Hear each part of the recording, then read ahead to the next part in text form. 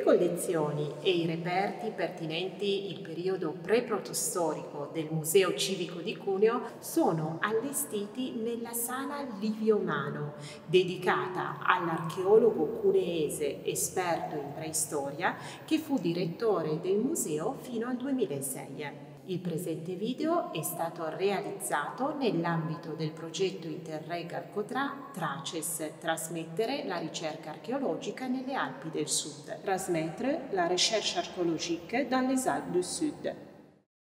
I reperti sono esposti in ordine cronologico, dal passato più remoto, definito paleolitico o età della pietra antica, ossia la pietra scheggiata, al periodo in cui termina la protostoria con la fase detta della romanizzazione, ovvero il III secolo a.C. Le più antiche tracce di frequentazione del territorio cuneese si identificano nei resti di orso delle grotte, Ursus speleus.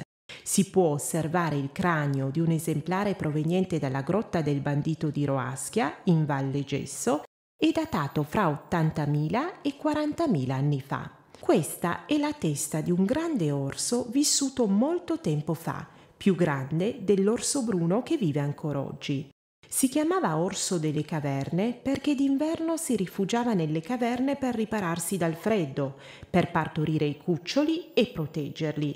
Nelle altre stagioni si spostava all'aperto per cercare cibo, mangiava di tutto, carne e arbusti, si muoveva su quattro zampe, era molto forte ma lento. L'orso delle caverne ha avuto un forte sviluppo fra 80.000 e 40.000 anni fa, con graduale diminuzione per poi arrivare alla scomparsa negli ultimi millenni della glaciazione. Questa specie abitava un'area geografica abbastanza ristretta. La sua presenza in alcuni territori, come in Inghilterra o in Spagna, era assai limitata. In Italia la specie non è conosciuta a sud di Monte Cassino. Benché le femmine fossero assai più piccole, gli esemplari maschi in età adulta erano di notevoli dimensioni, circa un terzo più grandi dell'orso bruno attuale, con massa cranica tre volte maggiore, corpo più massiccio, torace profondo, a forma di barile e zampe corte e larghe. Si ipotizza che questi animali vagabondassero per la maggior parte dell'anno e che soltanto nel letargo invernale cercassero riparo nelle grotte, di norma nelle sale più interne.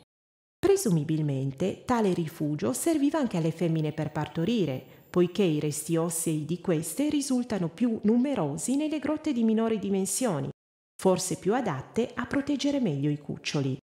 Fra i maggiori esempi di grotte frequentate dall'Ursus peleus nella provincia di Cuneo figurano la grotta del bandito di Roaschia in Valle Gesso, la grotta del Caudano in Val Maudania, la grotta di Bossea in Val Corsaglia, le grotte dell'area carsica della Valle d'Inferno, quelle di Val Pennavaira e Tana Cornarea in Val Tanarello. Il periodo neolitico, o età della pietra nuova, è invece documentato dai reperti rinvenuti ad Aisone, in Valle Stura di Demonte ed esposti nella terza vetrina del percorso museale. Si tratta di frammenti di vasi in terracotta del tipo detto a bocca quadrata, per la presenza di un orlo o bordo squadrato.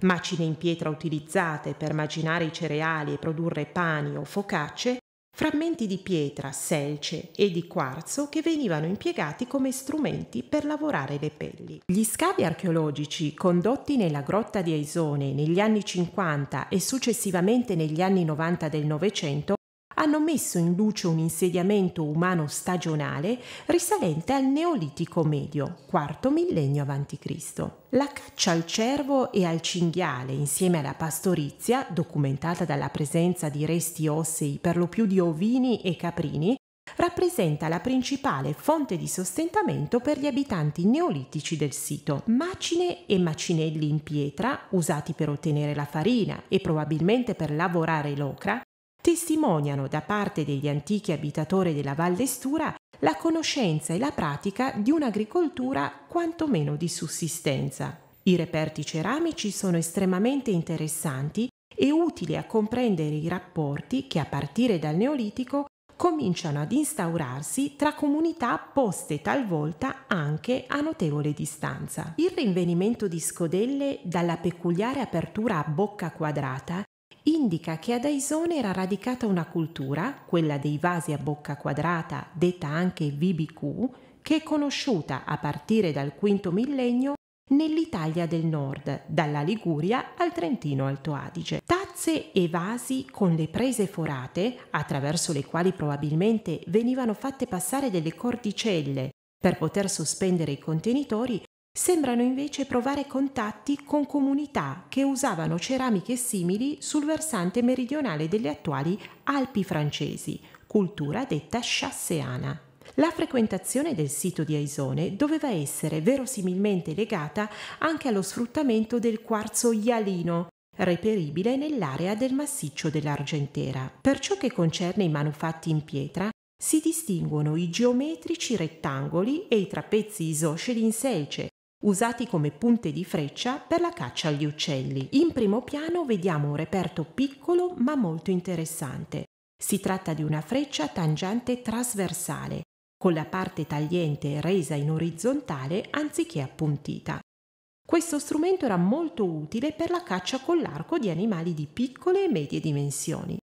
Il villaggio stagionale di Aisone era infatti composto da pastori, artigiani e agricoltori che nei mesi più caldi portavano i loro animali in ripari in grotta di media valle. L'età dei metalli o protostoria è documentata da reperti originali e di sicuro interesse. Al periodo della media età del bronzo, corrispondente al XII secolo a.C., si data la spada ripiegata in bronzo rinvenuta a Borgo San Dalmazzo durante i lavori di dragaggio del letto del fiume.